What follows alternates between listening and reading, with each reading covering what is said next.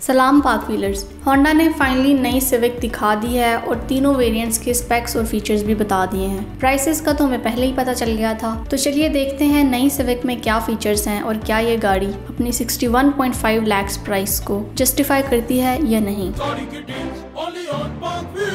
सबसे पहले पावर की बात करें तो तीनों वेरिएंट्स में सेम 1.5 लीटर टर्बो इंजन है, जो स्टैंडर्ड और ओरियल सिविक में 127 हॉर्स पावर और 180 न्यूटन मीटर टॉर्क प्रोड्यूस करता है। ये इंजन आर एस सिविक में 176 हॉर्स पावर और 220 न्यूटन मीटर टॉर्क प्रोड्यूस करता है। स्टैंडर्ड और ओरियल वेरियंट्स में नॉर्मल और इकोन ड्राइव मॉड्स हैं और आर एस वेरियंट में स्पोर्ट मोड भी है। तीनों वेरिएंट्स में सी है होंडा इस ट्रांसमिशन को स्टैंडर्ड और ओरियल वेरिएंट में एम और आर एस वेरियंट में एल एल कह रहा है। पावर में तो नई सिविक पुरानी सिविक के बराबर है। अगर लुक्स की बात करें तो पुराने सिविक जितनी स्पोर्टी नहीं है, लेकिन ज़्यादा मेच्योर लुक्स हैं। एक्सटीरियर में स्टैंडर्ड और ओरियल वेरिएंट्स में halogen projector headlights with manual adjustment और हेलोजन फॉग लाइट्स हैं और top of the line R S variant में एलईडी हेडलाइट्स हैं विद ऑटोमेटिक एडजस्टमेंट और LED fog lights LED DRLs lens type rear lights और matte finish black grille तीनों variants में है। इसके अलावा तीनों वेरिएंट्स में electrically retractable side view mirrors हैं, जिनमें एलईडी टर्न इंडिकेटर्स हैं। टॉप वेरिएंट में ये मिरर्स हीटेड भी हैं। स्टैंडर्ड और ओरियल वेरिएंट्स में 16 इंच एलॉय व्हील्स हैं और आर एस वेरियंट में 17 इंच एलॉय व्हील्स हैं। तीनों वेरिएंट्स में फुल साइज़ स्पेयर व्हील है। टॉप वेरिएंट की लुक्स थोड़ी अलग हैं। इसमें door mirrors door handles antenna spoiler और एलॉय व्हील्स ब्लैक पेंटेड हैं और फ्रंट और बैक पर आर एस एम्बलम है। तीनों वेरिएंट्स में स्मार्ट कीलेस एंट्री और इंजन पुश स्टार्ट बटन है। Top of the line variant के साथ एक स्मार्ट कार्ड की भी आती है। ओरियल और R S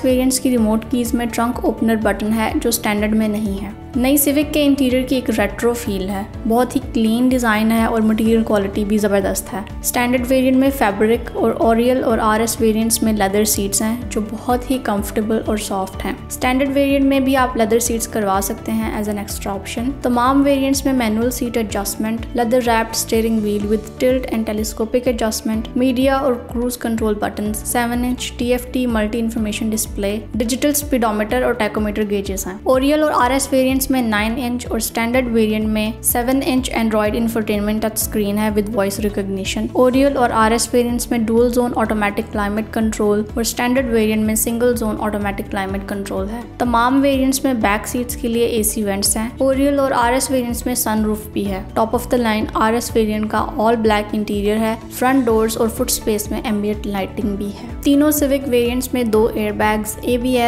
B D vehicle stability control traction control hill assist control और सिक्योरिटी अलार्म के सेफ्टी फीचर्स सेम हैं। टॉप वेरिएंट में होंडा सेंसिंग सेफ्टी स्वीट है, जिसमें collision mitigation braking system lead car departure notification system road departure mitigation system adaptive cruise control lane keep assist traffic sign recognition और auto high beam के extra safety features हैं। Standard Civic variant की price है 51 lakhs Civic Oriel की price है 54 लैक्स और fully loaded Civic RS की price है 61.5 लैक्स अब आप बताएँ कि इन फीचर्स में क्या नई सिविक अपनी प्राइस जस्टिफाई करती है या नहीं? कमेंट्स में हमें बताएँ और सिविक फैंस को टैग करें।